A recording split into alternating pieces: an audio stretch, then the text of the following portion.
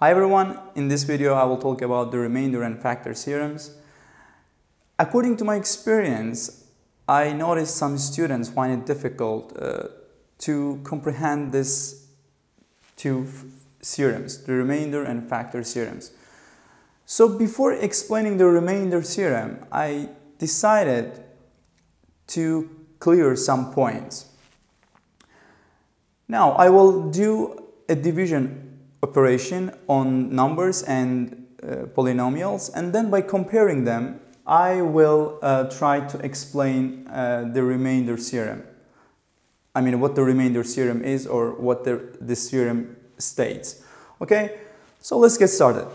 So let's take the 17. 17 divided by 5 which we get the uh, quotient as 3 and the remainder as 2. So when we do inverse operation by multiplying the quotient to divisor and adding remainder, we will get the 17, which means that 2 multiply 5 plus 2, I mean 3 multiply 5 plus 2 is equal to 17. Now, if we do the same operation, the same division operation on polynomials, uh, for example, let's take any polynomial 6x5 plus 4x squared plus 3x plus 7 divided by x minus 5. Let's say, I mean, let's assume that uh, we uh, got uh, 4x4 plus 3x squared and plus 5 as a quotient. And let's assume that we did long division and we got 16 as a remainder.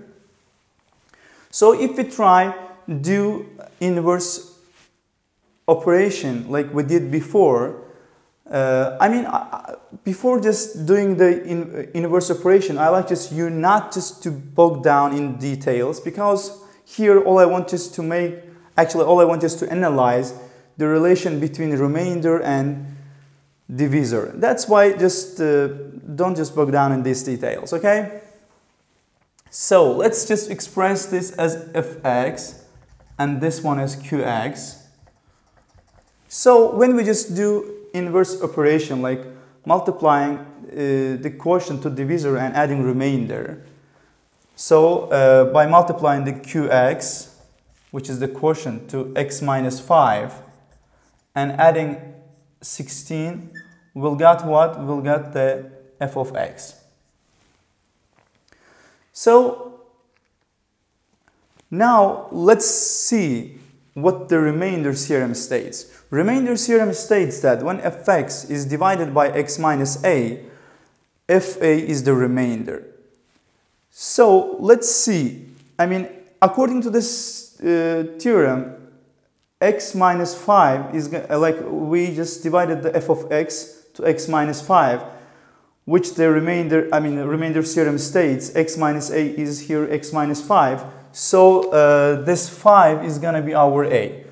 That means when we just uh, put this like f of 5, when we just uh, plug this 5 in x, we have to get the 16. Let's see, will we get this 16 or not? So when we just plug in 5, so 5 minus 5 multiply q5 plus 16 as you see that this part is going to be equal to 0 and f5 is going to be equal to 16 so this is just what the remainder theorem states. And the factor theorem uh, just uh, is just special form of the remainder theorem which states if fa is equal to 0 then x minus a is a factor of uh, this f of x. So I think uh, that's enough just about the remainder and factor theorem. So in order to understand this topic clearly, let's just solve a couple of questions. Okay, in question one, it states what is the remainder when x cubed minus x squared minus 3x minus 1 is divided by x minus 1? So, uh, as we remember, uh, here just x minus a is just x minus 1. It means that when I just plug this 1 in x, I will get the remainder. So let's just simply just put 1, like plug 1 in, in x's. So I will get what? f1 is equal 1 cube minus 1 minus 3 minus 1 it's going to be equal to negative 4 which means that the remainder is negative 4 when this polynomial is divided by x minus 1 now let's look through the question number 2 in question number 2 it says uh, if x minus 3 is a factor of x cubed minus 4x plus k what is the what is the value of k? So if x minus 3 is a factor of this polynomial, it means that when uh, this x minus 3 is a factor of this polynomial, it means that this the remainder is going to be equal to 0. So when we just plug 3 in x, it's going to be equal to 0. So let's just simply just plug 3 in x's. So 3 cube minus 4 multiplied 3 plus k is equal to 0 and we get here 27 minus 12 plus k is equal to 0 and which means that k is going to be equal negative 15